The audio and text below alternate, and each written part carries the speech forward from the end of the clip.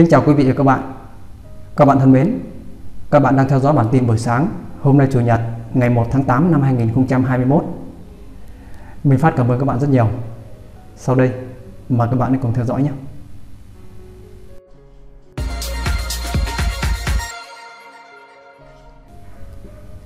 Các bạn thân mến, sau hai phiên tăng tổng cộng 29 đô la Mỹ một ao bởi lời bình luận của Chủ tịch Fed ông Powell, phiên cuối tuần giá vàng thế giới bất ngờ đi xuống khi đồng đô la Mỹ đảo chiều tăng giá. Qua đó, nhà đầu tư đã tranh thủ bán kim loại quý chốt lời. Giá vàng đã lao dốc khi đồng đô la Mỹ bất ngờ đảo chiều tăng. Sáng ngày 31 tháng 7 theo giờ Việt Nam, trên thị trường quốc tế, đồng USD Index đã đạt 92,090 điểm, tăng 0,212 điểm, tương đương tăng 0,23%. Mỹ công bố chỉ số lạm phát lõi tháng 6 thấp hơn mức dự báo. Bên cạnh đó, chỉ số thu nhập cá nhân của người Mỹ cũng đã tăng 0,1% trong tháng 6, đánh bại dự báo đồng thuận là giảm 0,3%. Tiêu dùng cá nhân thực tế trong tháng 6 đã tăng 0,5% sau khi đã giảm 0,6% trong tháng 5. Đây đều là những thông tin tích cực đối với kinh tế của Mỹ, cho thấy áp lực giá cả tăng nhưng trên thực tế không hề đè nặng quá nhiều lên người tiêu dùng. Các nhà phân tích cho biết nhu cầu trú ẩn an toàn sẽ giảm dần khi tăng trưởng toàn cầu phục hồi và lạm phát chỉ là tạm thời. Theo đó, các ngân hàng trung ương có thể tiến tới tăng lãi suất, nâng lợi tức trái phiếu chính phủ từ mức đáy hiện tại, khiến cho vàng vốn không mang lại lợi suất trở nên kém hấp dẫn hơn. Tuy vậy, theo chuyên gia tư vấn nghiên cứu cao cấp về Nam Á, ông Hasabarot của tổ chức nghiên cứu kim loại quý có trụ sở tại London, Anh cho rằng nền tảng cơ bản của vàng vẫn còn khả quan, khi rất khó đoán định về việc liệu nền kinh tế của Mỹ sẽ tiếp tục phục hồi mạnh mẽ hay điều gì sẽ xảy ra trên thị trường lao động của Mỹ. Ở tại thị trường trong nước, giá vàng được các cửa hàng kinh doanh trên toàn quốc tiếp tục điều chỉnh giảm ở phiên cuối tuần sau khi thị trường vàng thế giới lao dốc. Do đó, giá vàng SJC trong nước ghi nhận mức giảm trong tuần là 200.000 đồng lượng. Nếu như người chơi vàng mua từ ngay đầu tuần sẽ thu về khoản lỗ tới 900.000 đồng lượng do biên độ giữa chiều mua và chiều bán ở mức cao là 700.000 đồng lượng. Cụ thể, vào dạng sáng nay, công ty vàng bạc đá quý Sài Gòn niêm yết giá vàng SJC ở chiều mua và chiều bán ở mức 56 triệu 550 đồng lượng và 57 triệu 250 đồng lượng. Tập đoàn vàng bạc đá quý Doji tại Hà Nội niêm yết giá vàng ở mức 56 triệu 480 đồng lượng và 57 triệu 930 000 đồng một lượng cả chiều mua và chiều bán. Còn tại Phú Quý SJC cũng được biết giá vàng SJC ở mức 56 triệu 600 000 đồng một lượng chiều mua, còn ở chiều bán 57 triệu 400 000 đồng một lượng. Hiện tại, giá trần giữa chiều mua và chiều bán của vàng miếng SJC ở mức 56 triệu 550 000 đồng một lượng và 57 triệu 270 000 đồng một lượng. Sau đây là bảng niêm yết giá vàng trong nước. Mời các bạn đi cùng theo dõi.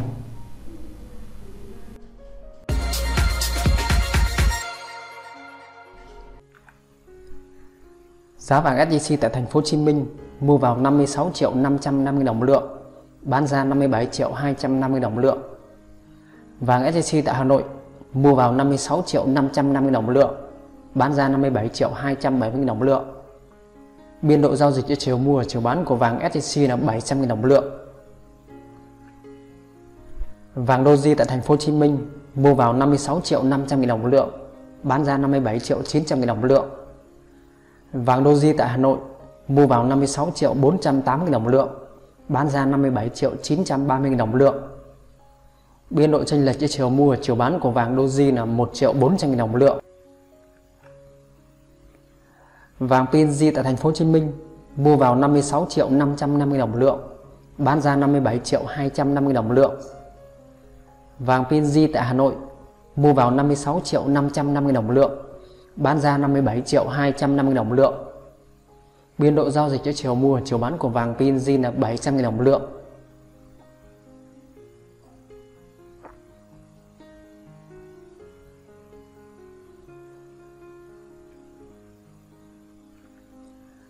Giá vàng SJC ở các tổ chức lớn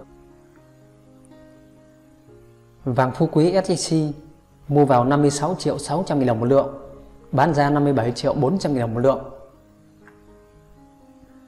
Vàng Ngọc Hải SJC Hồ Chí Minh mua vào 56 triệu 550 đồng một lượng, bán ra 57 triệu 250 đồng một lượng.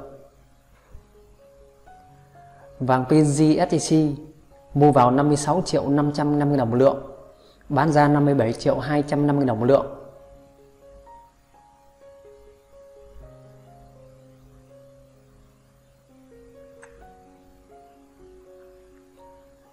Giá vàng SJC tại một số ngân hàng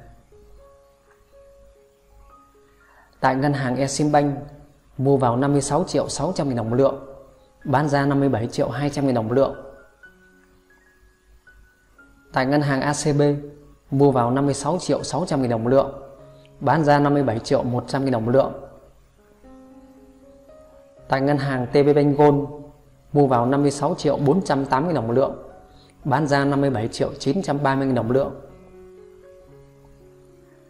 Tại ngân hàng Việt Tiên Bank Gold mua vào 56 triệu 550 đồng một lượng, bán ra 57 triệu 270 đồng một lượng.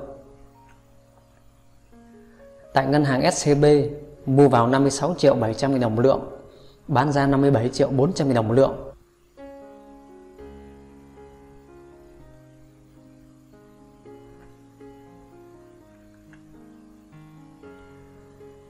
Giá vàng SJC chi nhánh ở các tỉnh thành Tại Đà Nẵng mua vào 56 triệu 550 đồng lượng, bán ra 57 triệu 270 đồng lượng. Tại Nha Trang, mua vào 56 triệu 550 đồng lượng, bán ra 57 triệu 270 đồng lượng. Tại Cà Mau, mua vào 56 triệu 550 đồng lượng, bán ra 57 triệu 270 đồng lượng.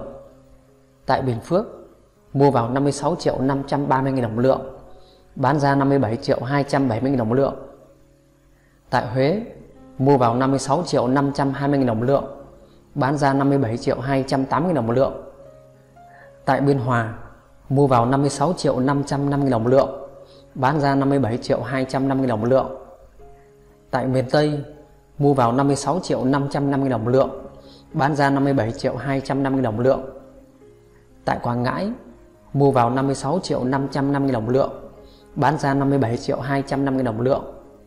Tại Quy Nhơn, mua vào 56 triệu 530 000 đồng lượng, bán ra 57 triệu 270 000 đồng lượng.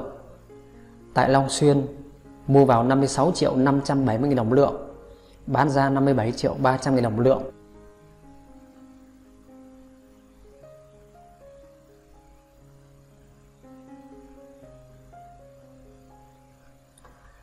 Giá vàng 4 số 9, vàng nữ trang SJC Nhẫn bố số 9 loại từ 1 đến 5 chỉ, Mua vào 51 triệu đồng một lượng, Bán ra 51 triệu 700 nghìn đồng một lượng. Vàng nữ trang bố số 9 Mua vào 50 triệu 700 nghìn đồng một lượng, Bán ra 51 triệu 400 nghìn đồng một lượng.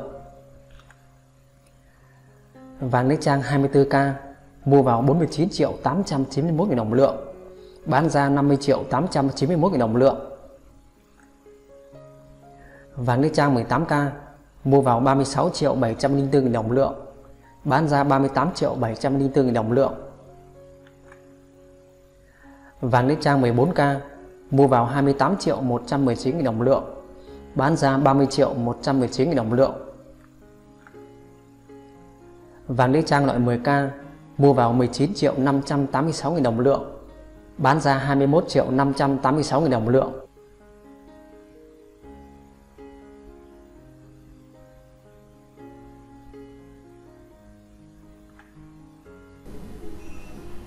Các bạn thân mến, các bạn vừa theo dõi bản tin buổi sáng hôm nay Chủ nhật ngày 1 tháng 8 năm 2021. Đến đây, bản tin buổi sáng cũng xin được khép lại. Minh Phát cảm ơn các bạn rất nhiều. Chúc các bạn ngày nghỉ cuối tuần sức khỏe và thành công trong mọi lĩnh vực. Nếu như các bạn yêu kim Nội quý, các bạn đừng quên nhấn giúp mình Phát một like nhé. Xin trân trọng cảm ơn. Và bây giờ, xin kính chào và hẹn gặp lại.